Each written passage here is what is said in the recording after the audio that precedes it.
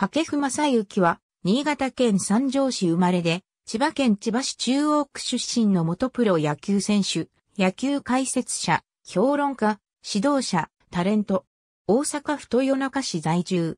阪神タイガースでの現役時代から、阪神ファンやメディアの間で、四代目ミスタータイガースと称される。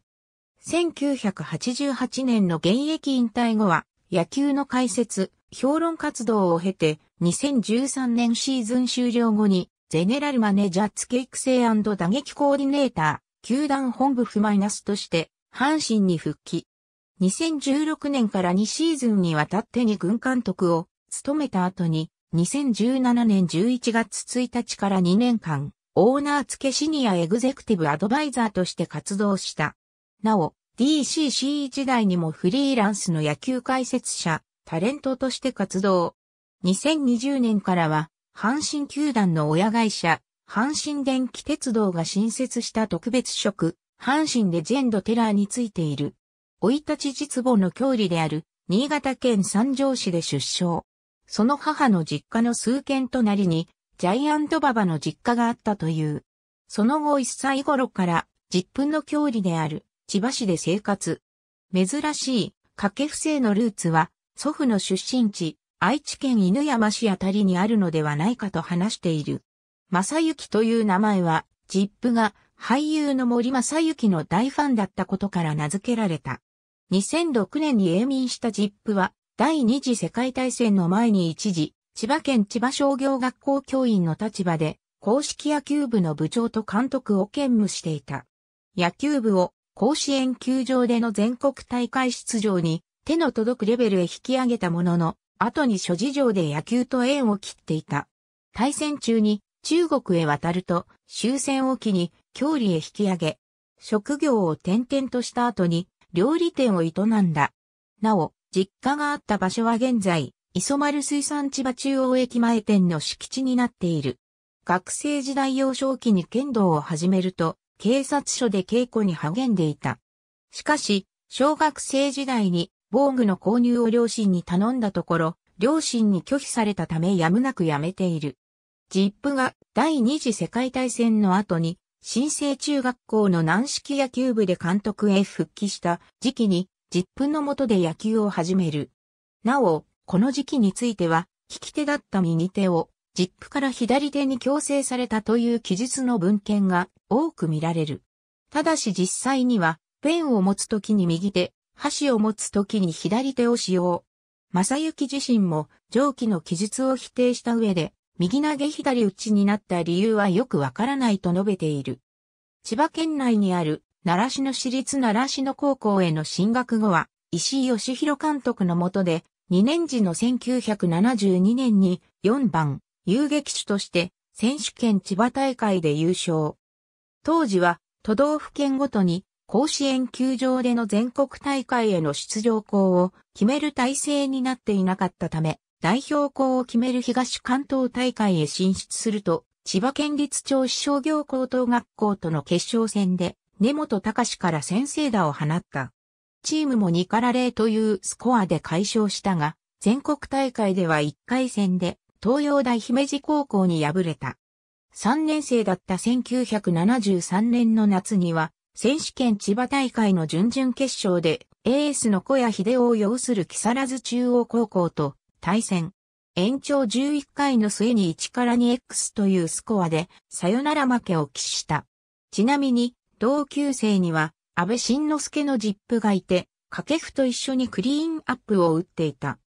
また、1975年夏の第56回全国高等学校野球選手権大会でエースとしてチームを初優勝に導いた小川敦は2学年後輩で在校中の掛布について市内の袋にバットを入れて毎日自宅に持ち帰っていたと後に10回している。学生時代から NPB 入りを志望。NPB のドラフト会議を控えた1973年の秋にはジップやおじが小川義春に対して、ヤクルトスワローズに、正幸を入団させるよう掛け合った。小川が当時、ヤクルトの二軍監督を務めていたことや、ジップが千葉商業学校の野球部長兼監督時代に、小川を指導したことによる依頼であったが、小川は依頼を誇示。そこで、ジップたちは、同校を継承した千葉県立千葉商業、高校公式野球部の監督経験者である、篠田仁を通じて、阪神タイガースへの仲介を依頼した。仲介先が阪神であったのは、篠田が千葉商業高校監督退任後の一時期にトレーニングコーチとして在籍していたことや、この年に現役を退いたばかりの安藤元が、かねてから篠田や掛布の叔父と懇意にしていたことによる。以上の関係を背景に、篠田の依頼を受けた安藤が正幸の入団テストを球団に申し入れたところ、会期直前の11月に甲子園球場で実施するに群衆期練習への参加を特別に許された。この練習では、球団が正幸用のユニフォームを用意しなかったため、安藤が選手時代に使っていた背番号9のユニフォームを裏返しに着ながら、一軍監督の金田正康をはじめとする首脳陣の前でテストを受けていたという。結局、一週間にわたる練習の後で、当時のスカウト、笠井敏夫が大学や社会人野球のチームから勧誘されても断るという条件で、正幸に契約を打診。正幸自身も、このチャンスを逃してはいけないとの思いで打診を受け入れたことから、ドラフト会議での6位指名を経て、契約金500万円、年俸84万円という条件で正式に契約した。背番号は、この年まで6年間にわたって、ウィリー・カークランドが着用していた31。1974年には一軍内野守備コーチに転じた安藤などから春季キャンプで徹底的な指導を受けた後にオープン戦へ出場。初めて出場したのは対南海ホークス戦で、この年にドラフト1位で入団した野崎恒夫から代打で安打を放った。3月21日の対太平洋クラブライオンズ戦ではオープン戦ながら7番遊撃手として初めてスタメンに起用。当時の声優劇手だった藤田平が自身の結婚式で欠場したことによる起用だったが、太平洋のエースだった東尾治から4打数に安打を記録した。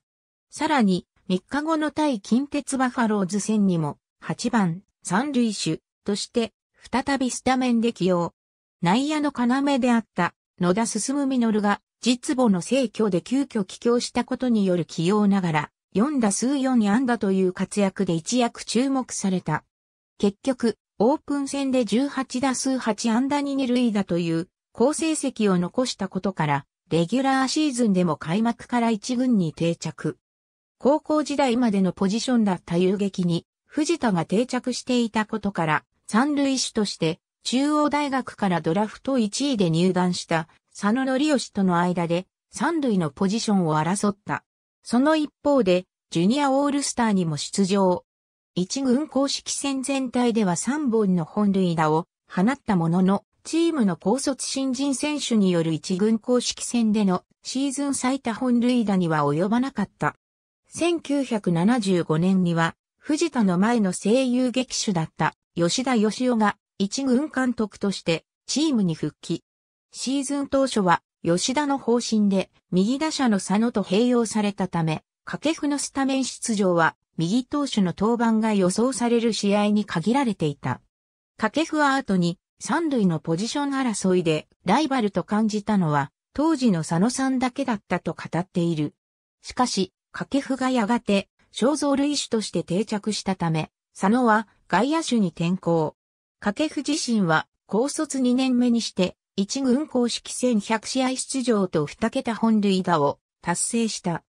1976年に王貞治を上回る打率5位に食い込んでブレイクし、同年のベストナインに選ばれる。掛布は打撃ベスト10で王さんの上に立てたことが大きな自信になったと語っている。さらに、翌1977年にも大活躍し、応援歌、ゴー、ゴー、掛布も売り出された。この人気に応援団は、掛布の打席でヒッティングマーチを演奏するようになった。一説に、阪神在籍選手では掛布が最初と言われる。最初の応援歌は、ゴー、ゴー、掛布のサビであったが、後に変更された。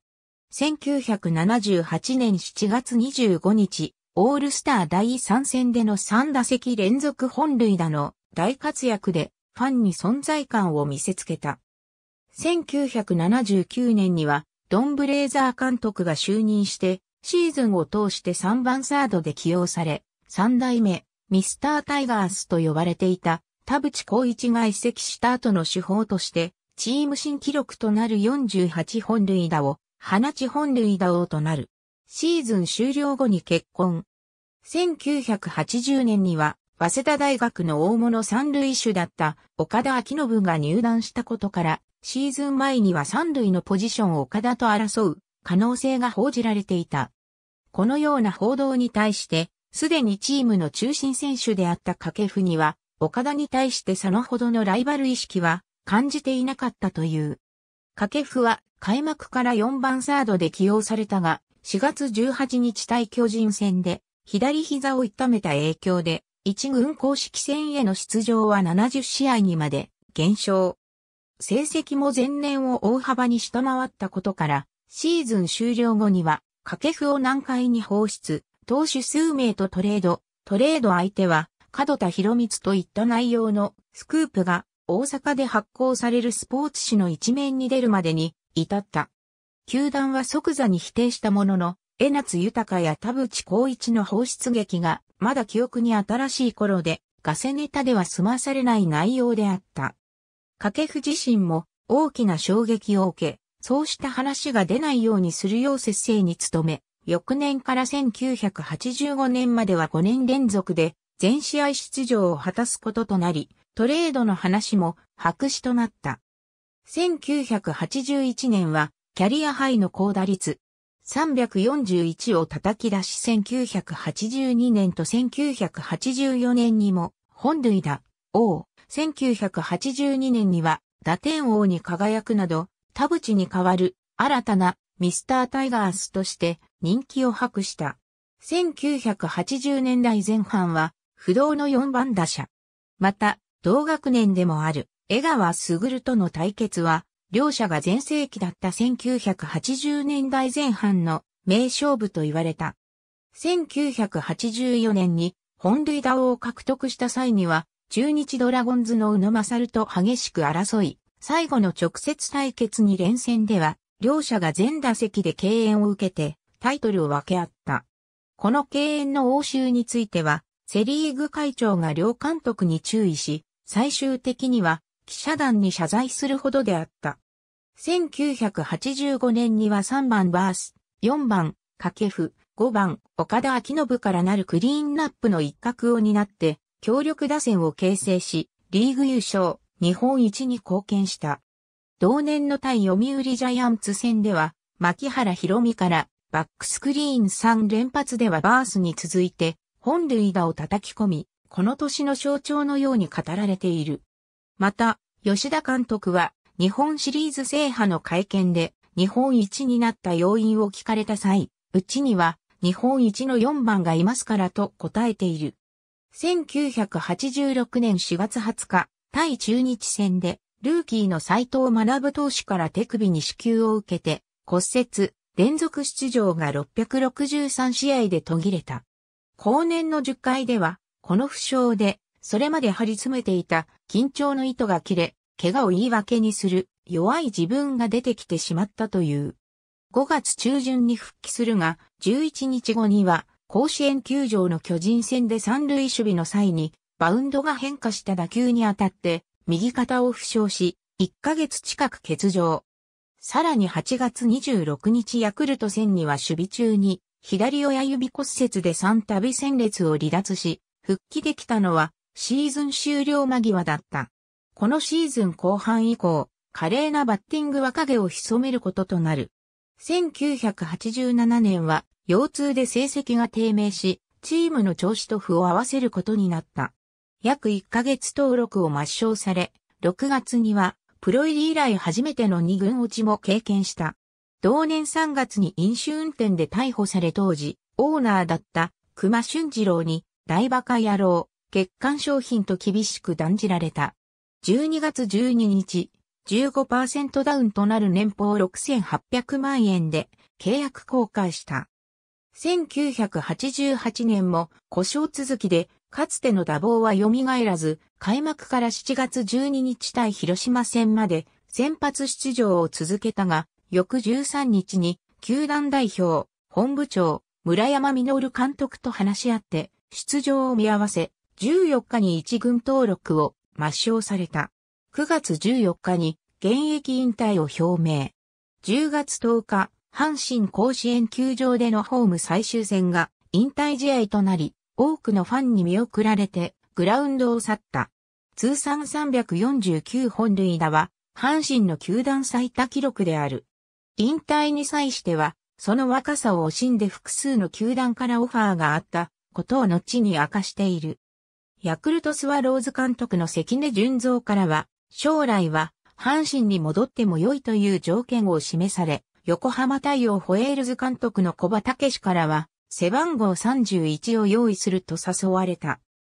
長島茂雄からは、1年間2軍にいて、じっくりと体を鍛えて、気持ちを切り替えればというアドバイスがあったなど、掛布のみの振り方を尊重した内容であったが、田淵が、かつてトレードに際して、今度はお前だぞ。お前は、江夏や俺のように途中で、縦島のユニフォームを脱ぐようなことはするなよと言った言葉が頭にあり、現役を続けるなら阪神でなければならないと考えて孤児。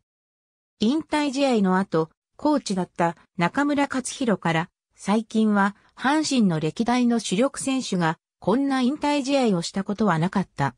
新しい阪神の歴史を作ったな。惜しまれながら球場全員が涙する。お前が道筋を作ったおかげでこれからはこうやって阪神の選手が辞めていくことができるだろうという言葉をもらったと述べている。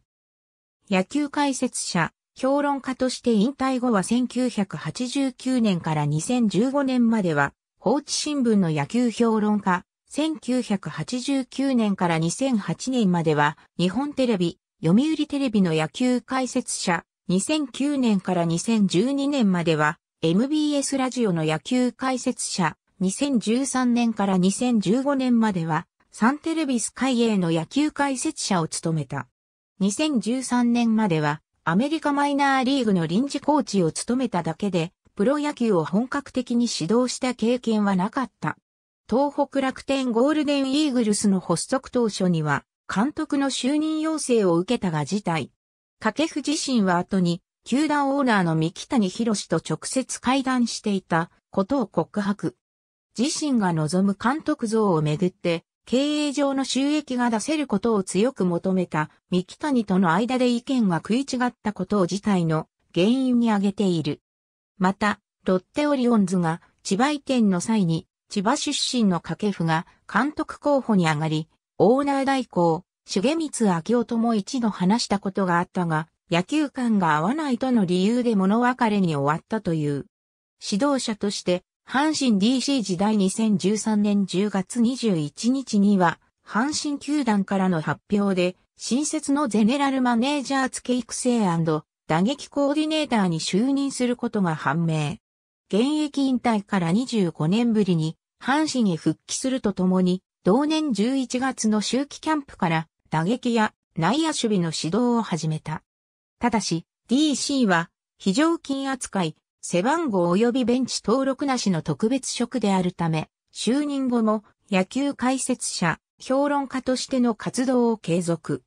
また、契約上ユニフォームの内ズボンの着用しか認められなかったことから、選手への指導中には、球団から支給されるジャンパー、トレーニングウェア、シャツを上着に用いていた。なお、現役引退当時のコーチでもあったゼネラルマネージャーの中村が2015年9月23日に急逝したことから、球団では同年10月1日付の人事異動で、当面の間ゼネラルマネージャー職を廃止。この廃止を機に役職を球団本部付育成打撃コーディネーターに変更した。しかし、掛布さんとは野球観が合うという金本智明がその直後から一軍監督へ就任したことを受けて球団社長の南進男が二軍監督への就任を要請。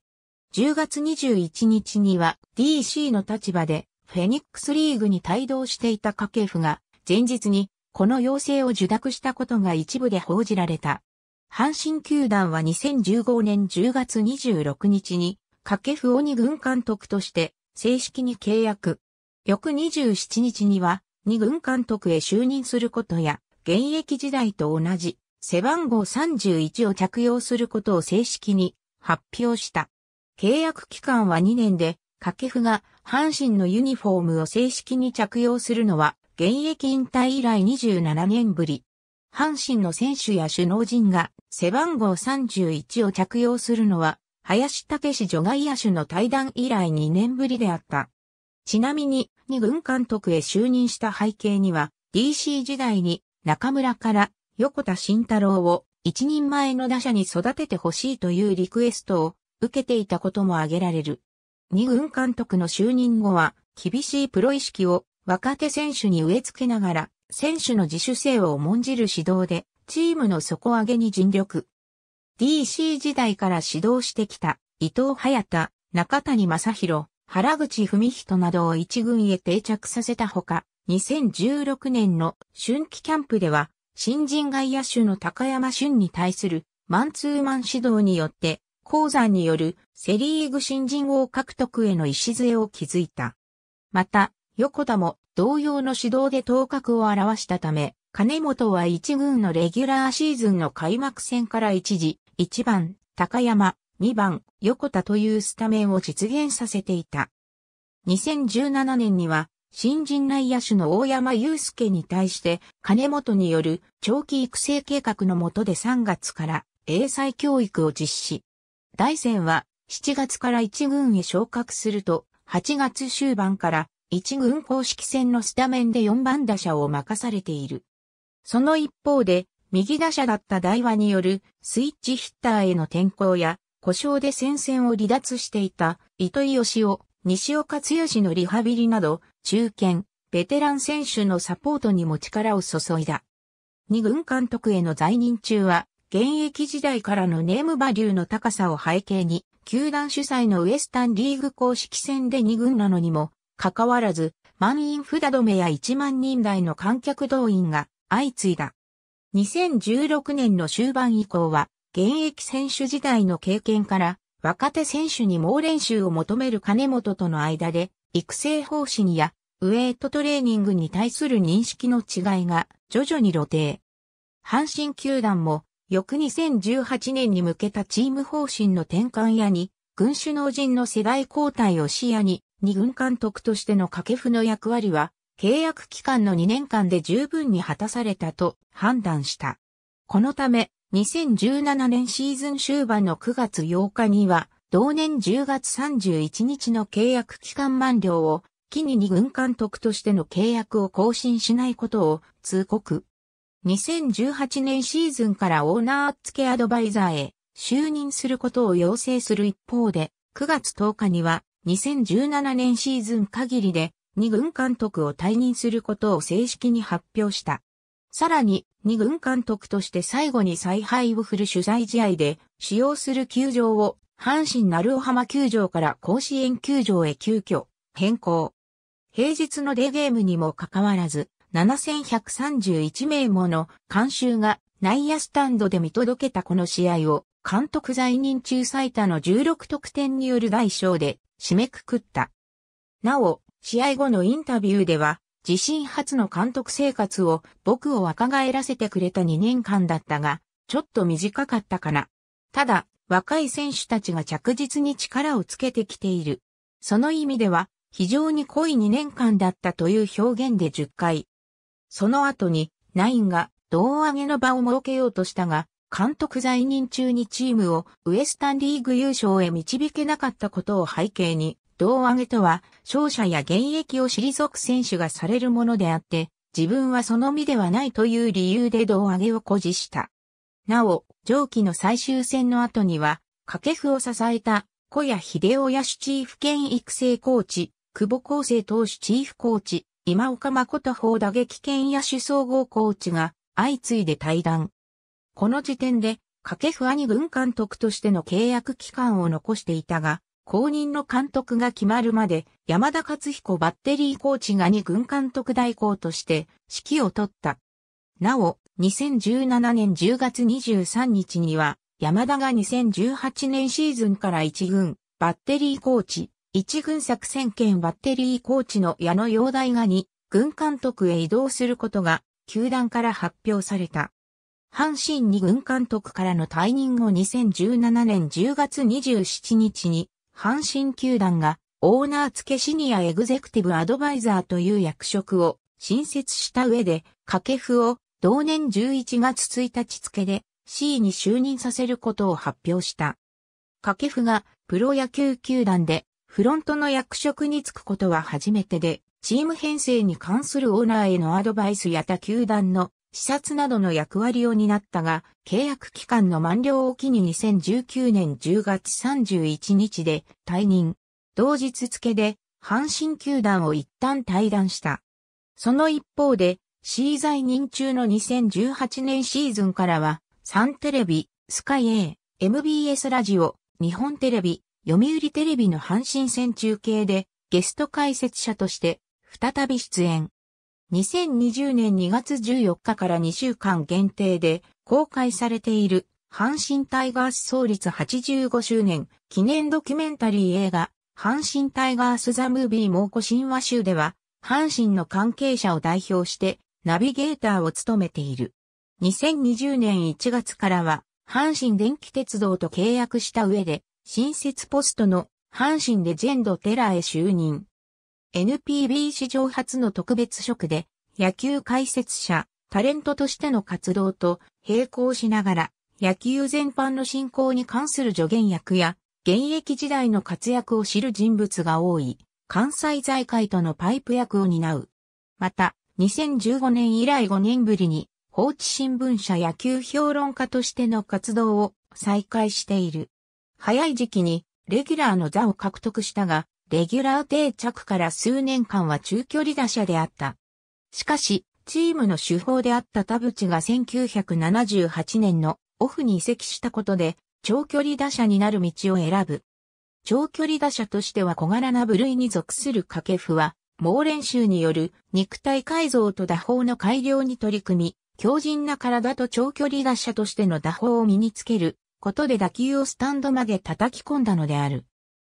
同僚だったランディ・バースは、バッティングは引っ張っても打てたし、流しても打てたからね。完璧だったよ。日米野球だったと思うけど、ジョージ・フォスターが彼のバッティングを見て、このチビはなんであんなにボールを飛ばせるんだ？って聞いてきたことがあったほどだぜ。何しろ腰の回転がすごかった。腕力はなかったけど、下半身の回転で打つ選手でミートもうまかった。右投手も左投手も苦にしなかったね。と評している。しかしこの打法は体への負担も大きく、選手寿命を縮める一因ともなった。掛布自身、体が大きくない僕が、ホームランを30本、40本まで増やすためには、肉体的には、かなりの無理をしていたと述べている。甲子園球場で、本塁打を量産するために、左打者にとっては厄介な存在であった浜風と喧嘩するのではなく、逆に利用しようと研究を重ね、逆方向であるレフトスタンドへ本塁打を量産する独特かつ芸術的な流し打ちを身につけた。以降、レフトへの本塁打が飛躍的に増え、球界を代表するホームランバッターの一人となった。本塁打は狙って打つものと考えており、ホームランのうち、孫児がヒットというイメージを持っていた。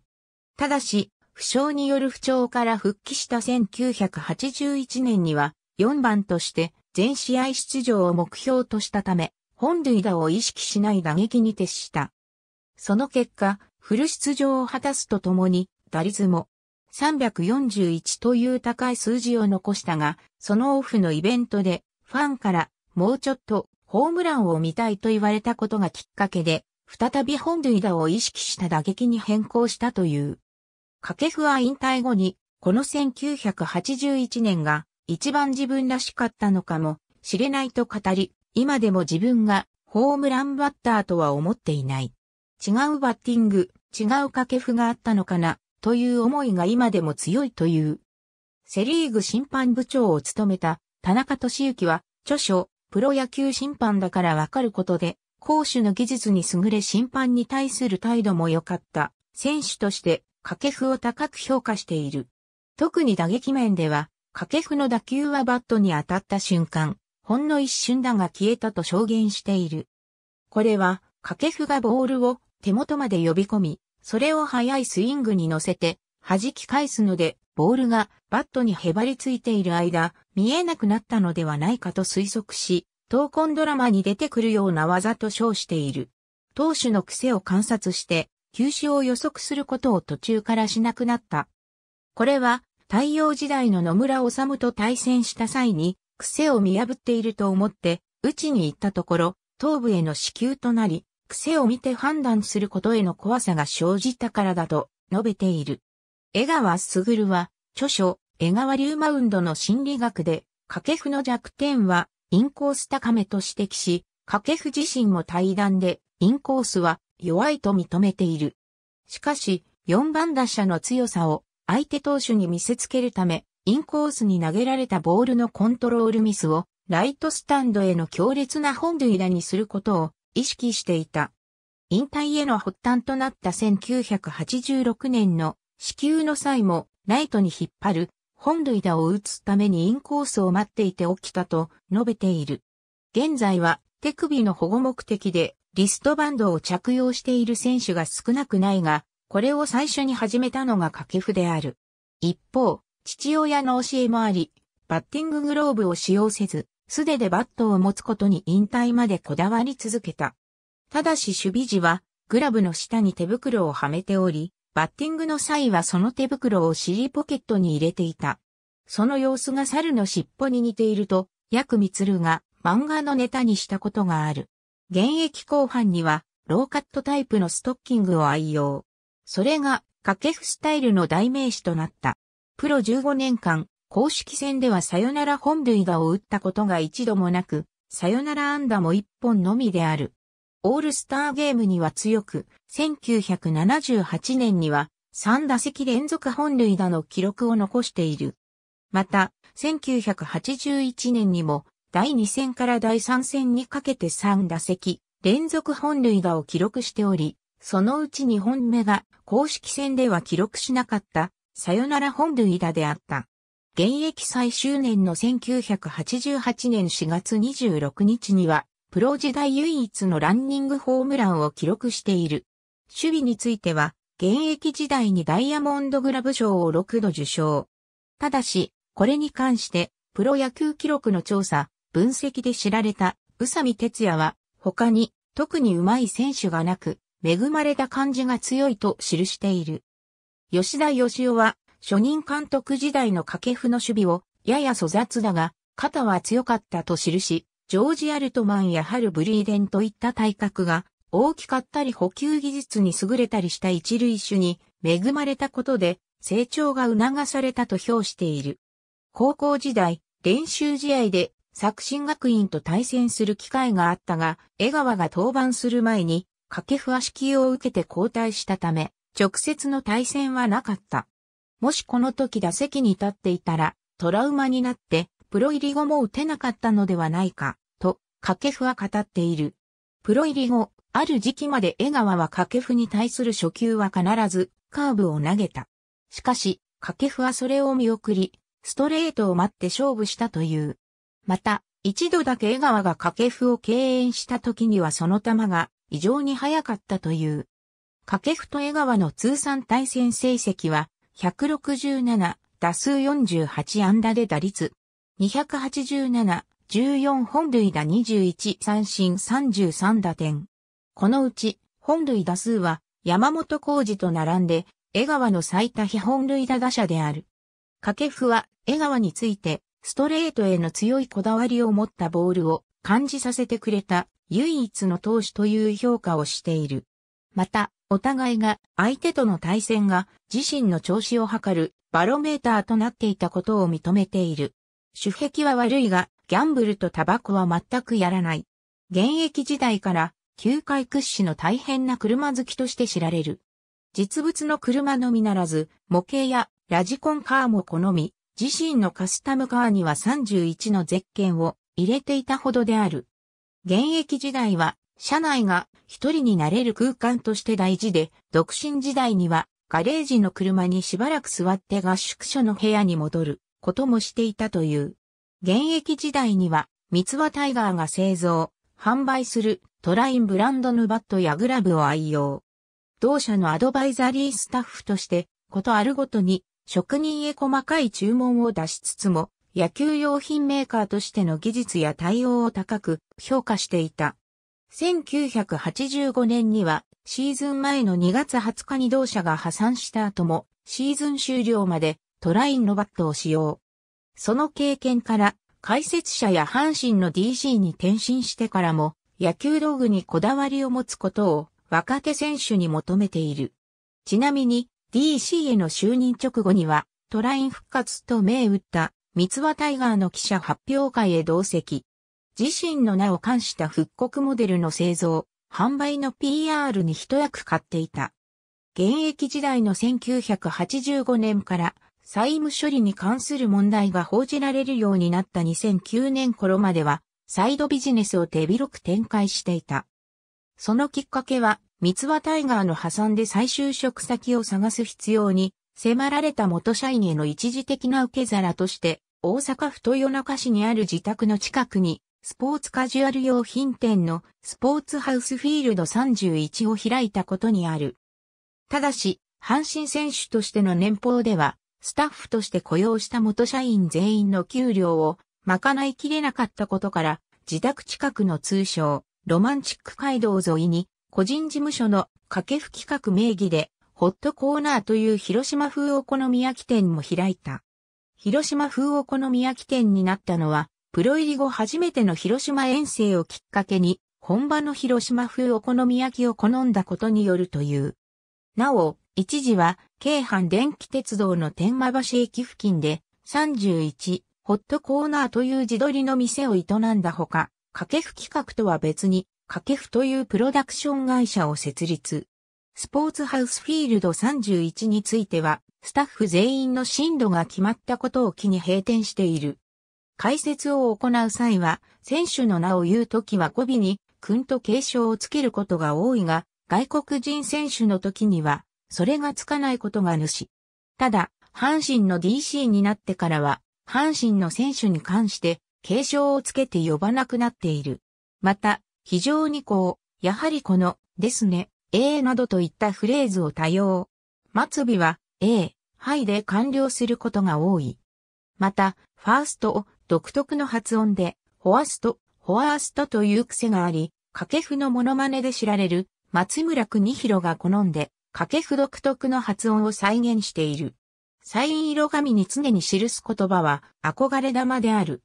2年目の1975年6月に甲子園球場の対ヤクルト戦で1点ビハインドの6回表に四満塁の場面に三塁ゴロをトンネルし、そこから大量失点を招いて敗れた。試合後、ロッカールームに入れず、扉の前でしゃがみ込んでいたところに先発投手の江夏、豊が通りがかり、何してんだ、バカ。気にするなと声をかけたという。長島茂雄のことを敬愛している。デビューした年の5月21日の大巨人戦で、プロ入り初安打を記録した時、掛布は三塁を狙ったが長島にタッチアウトされた。しかし、憧れの長島にタッチされたことが嬉しくてたまらなかったという。長島は、掛布の結婚披露宴で、君には巨人戦で数多くのホームランを打たれて悔しい思いもした。だが、君は千葉の後輩なんだ。悔しいが、誰にも負けない大きな拍手を心から君のホームランには送っているとスピーチし、掛布も長島巨人を倒すことが長島が最も喜ぶことだと考えたという。新人時代、対巨人戦で安打で出塁した際、大貞治にいつあんなバッティングを覚えたんだと声をかけられ、ああ、見てくれていたんだと自信がついたという。王とあまり言葉は交わさず、その時だけ声をかけられた。一方、長島茂雄は三塁で、君はいくつなんだ？などといった声をかけてきたとのこと。長島が評論家に転じた後、スランプに陥っていた掛布は長島に電話で助言を求めたことがある。すると、長島曰く、そこにバットある？あったら振ってみて。首をかしげながら、掛布は素振りの音を電話越しに長島に聞かせた。音を聞いた長島は雑念を取り払え、無心で触れ。という。今度は無心でバットを数度ぶり、オンを聞かせる。すると、そうだ、今のスイングだ。忘れるな。と言い、電話は終わった。その後、掛布はスランプを脱したという。ライバルであった江川卓とは、現役当時はオールスターゲームの際に会話する程度であった。しかし、引退後に共に解説者として仕事をするようになってから親交が深まり、現在は親友の間柄となっている。現役時代、共に主力選手であった岡田明信との間で、不仲説やそれぞれの派閥があるような記述が当時のスポーツ紙などで見られた。これについて、岡田は2008年の著書で、入団後に飲食を共にしなかったことは、事実としながらも不仲説は否定しており、そうしたマスコミの記述を一緒に行かないから、イコール仲が悪いと決めつけられても困ると批判的に記している。岡田は、掛布の引退試合の際に、あとは頼むぞと言われたことが初めての二人の本音の会話だったかもしれないと述べている。巨人の安倍晋之助の父親は、掛布の習志野校時代の同級生で、同じく野球部に所属していた。三年生時に首相だった掛布は、後輩に厳しく当たる役は、安倍の父に押し付けていたと、後年述べている。高校時代は、安倍の父親が4番を打っており、掛布は3番打者だった。今でも安倍の父親とは深い親交があり、安倍が子供の頃から掛布に憧れていたのはこの縁に由来する。モノマネタレントの松村邦弘によくモノマネされている。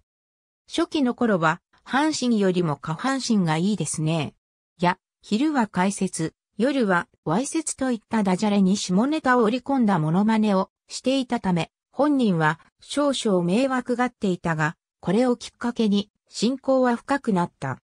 松村の話によると、自分の家に一般人が平気で訪れたりいたずら電話をかけるなど嫌がらせが絶えなかった時代に、掛布の声で電話があり、はじめはいたずらと思ったが、本物の掛布であることが分かり感動したという。掛布自身もバラエティ番組にゲスト出演した際に様々なタレントから松村のことで突っ込まれており、いつ見ても波乱万丈にゲスト出演した際に、相田寛平から野球中継で顔出ししないときは松村にやらせてみては？と言われている。現婦人は米田哲也に紹介された。長男は大阪学院大学高等学校から大阪学院大学を経て社会人野球の三菱重工神戸で2008年までプレーしていた。プロ野球選手にはなれなかったが、彼がつけていた背番号も31だった。大阪学院大学時代にも首相を務めた4回生時を除けば、1回生から3回生までは背番号31をつけた。2009年には週刊誌において経営していた店舗の不振により多額の負債を抱え、自宅も2008年11月に差し押さえを受けていると報じられた。このことが関係してかは不明ではあるが、2008年、いっぱいで長らく担当していた日本テレビ及び読売テレビの野球解説者としての契約を解除された。この債務について、掛布は債務保証したコンサルタント会社から大阪地方裁判所に訴訟を起こされた。掛布はコンサルタント会社が実質経営していたと主張したが受け入れられず、同地裁は2009年9月11日に掛布川全面敗訴の判決を言い渡した。2010年3月31日、大阪府豊中市にある自宅を大阪地裁が競売開始を決定。家財道具13点も同時に競売にかけられた。競売申し立ては、兵庫県尼崎市の金融機関である。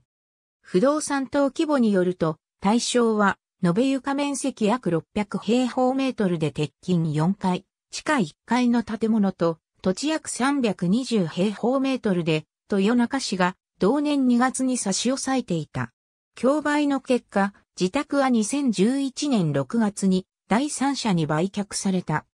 2011年7月27日、実質的に経営している掛布企画が2回目の手形不当たりを出し、銀行取引停止処分になったことが明らかになった。負債総額は約4億円に上るという。